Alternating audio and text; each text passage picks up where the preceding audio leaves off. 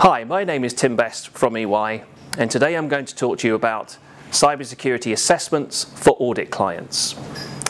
To remain competitive, an organisation must change and adapt. At the same time, threats impacting an organisation also evolve over time.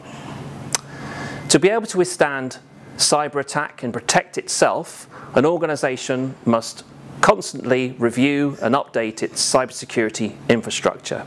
This means that it must make sure that its people, process and technology are doing everything they can do to protect the organisation.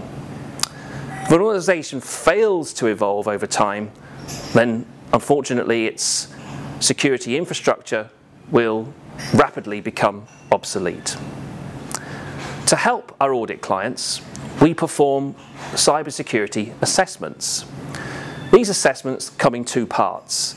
There is a top-down approach, which is based on interviews and workshops and following questionnaires, and a bottom-up approach which uses technical vulnerability scanning and penetration testing techniques to test our clients' infrastructure.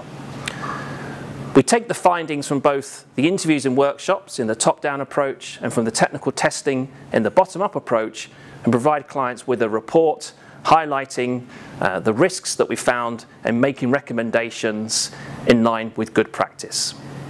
Thank you very much.